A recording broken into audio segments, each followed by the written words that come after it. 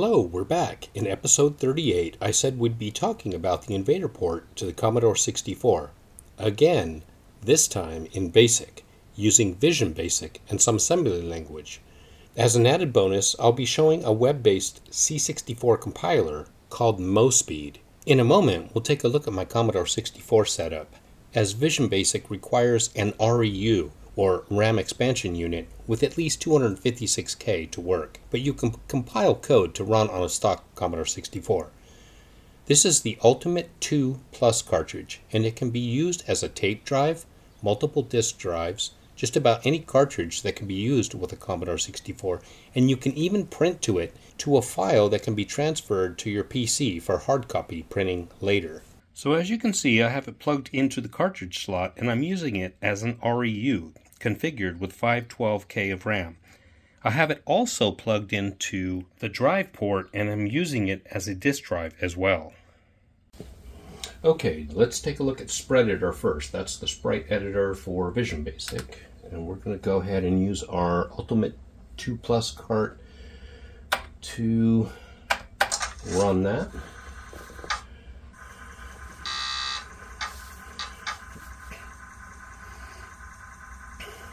And you can hear the disc sounds coming from the Ultimate 2 Plus cart speaker.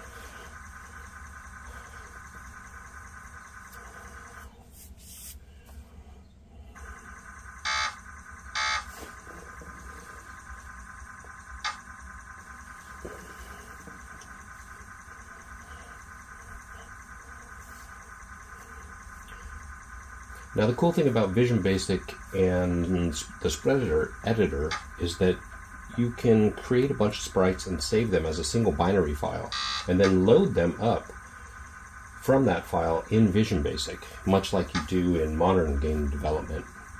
Instead of having to put your sprites in a whole bunch of uh, data statements and read them in with a for next loop. So these are our choices and we will be using um, high resolution for our sprites. So let's go ahead and run that.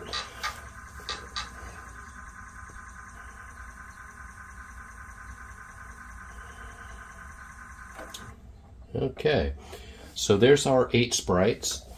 And uh, one thing we can do is we can actually move between them and move them around. And the reason why you might want to do that is if you were to create and overlap a couple of sprites for multicolor sprites, you can also scale them on the X, the Y, or both the X and the Y as well.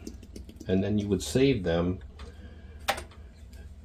out and I will show you how to open those up in Vision Basic and make use of them in Vision Basic in just a moment. Okay, now we'll take a look at Vision Basic. So let's uh, get a catalog of the disk. And there's Vision Basic right there. So we'll load that up.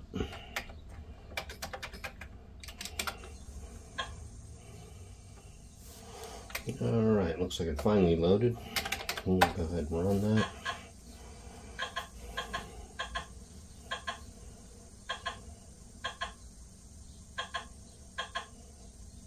Okay, let's load up our invader code.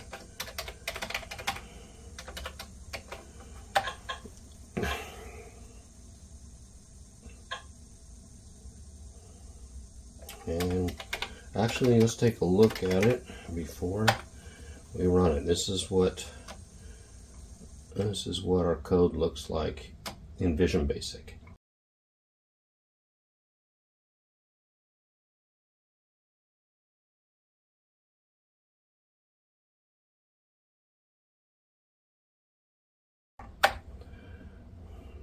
So there's being compiled.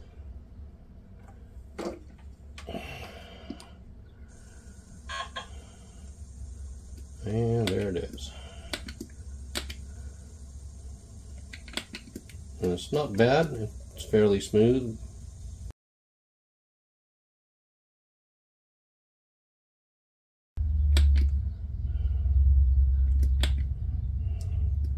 I'm not sure why sometimes my um, collision detection does not work. It works pretty much all the time on the turret, but not all the time on when I hit the invader. So that's something I need to look into. See, there was a hit right there.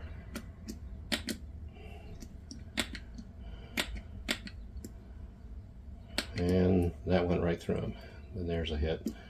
So we'll go ahead and end this and I'll restart with the F1 key. Anyhow, there it is in Vision Basic. So now, in order to create an executable that you can run on your Commodore 64 standalone, all you have to do is compile it with COMP, give it a name,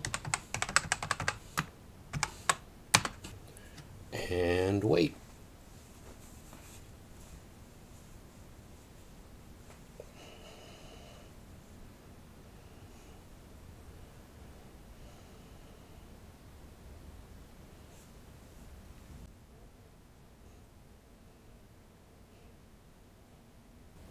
Takes less time to compile it than to save it to disk.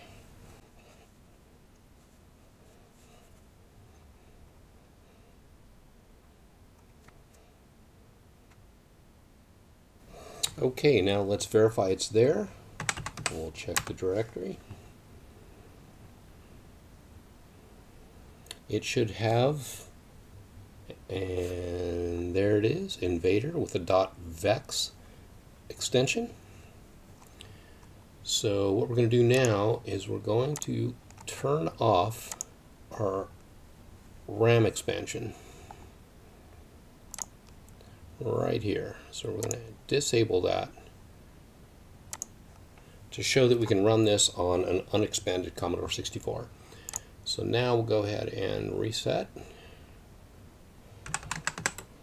We'll get a directory.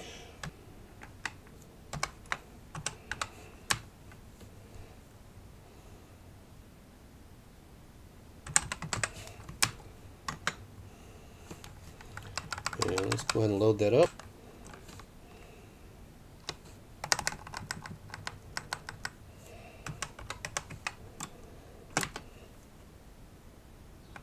And there we go. Now we're going to do a listing and you'll see that it just shows Vision Basic 1.0.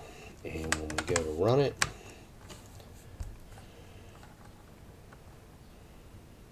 there it is.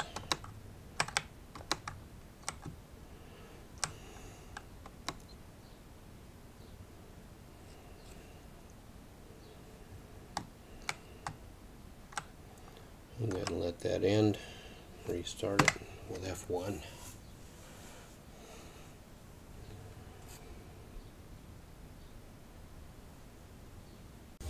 I almost forgot, I said I was going to show how the uh, sprites could be loaded in um, in BASIC. So here, here's the load um, command right here. We're basically, we're loading up all eight of our sprites in one shot and we're placing them at this memory location. So another thing to note here is that Vision Basic will also work on the C64 and in the Vice emulator, as both of these solutions also have the ability to emulate an REU unit attached to them. So this is the MoSpeed web-based compiler for Commodore 64.prg files. First, let's run this version of Invader for the Commodore 64 that was written in BASIC and you'll see just how pathetically slow this is. As we've seen before. And there I'm firing. This is pretty dismal. So we'll go ahead and stop that. And now what we're going to do is go ahead and grab that file from this web-based compiler. And that it's sitting on my desktop and it's called Invader. There we go. And now we'll hit the compile button.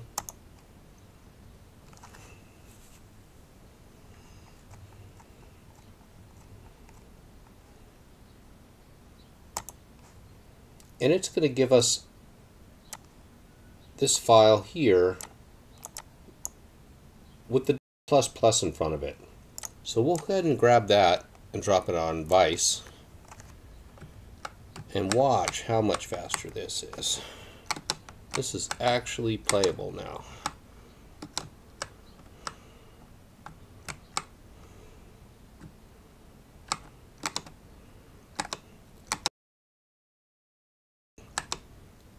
So you could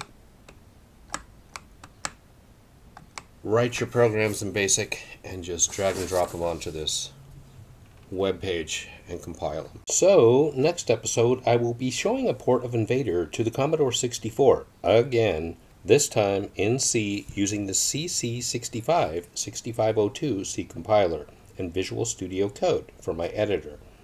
That about wraps up episode 39 of my journey in game programming. Please like and subscribe and leave any comments or suggestions you may have that could make these a better experience. Until then, bye. I'll talk to you next time.